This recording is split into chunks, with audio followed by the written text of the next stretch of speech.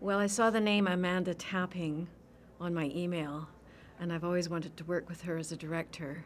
So I leapt at the chance. And then when I saw what it was about, it was very near and dear to my heart, so I, um, I double leapt.